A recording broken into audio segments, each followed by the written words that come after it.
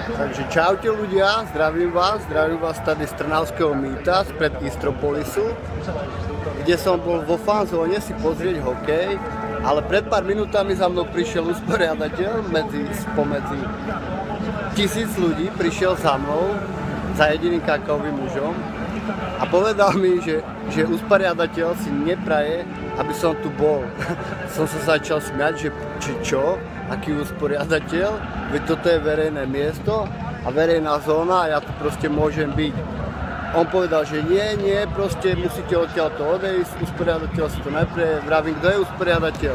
Že Slovenská, fe, Slovenská hokejová federácia.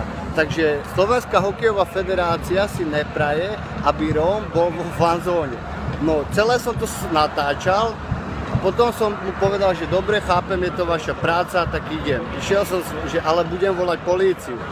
Išiel som teda na východ, všetko som natáčal, ako som prišiel na východ, tam už policia stála, povedali mi, že vraj, ten jeden sbs mi povedal, že vraj som obvinený, že vraj som podozrivý z lúpeže a zavolal policajnú hliadku, tá prišla, všetko som im vysvetlil, všimol, všimol, jeden ten SBSkar si všimol, že to celé natáčam a povedal som mu, že to dám na internet, toto. A ten policajt mi hneď zebral to, telefón, vravil som mu, že z akého, akým právom mi proste berie telefón a vymazáva videa. On, že nemáte právo ma natáčať, vravím, že mám, lebo vy ste verejný činiteľ a ste vo službe, takže to môžem natáčať. No aj tak to vymazal a proste ma vyhodili odtiaľ to proste úplne diskriminačne, jak jediného Róma z fanzóny.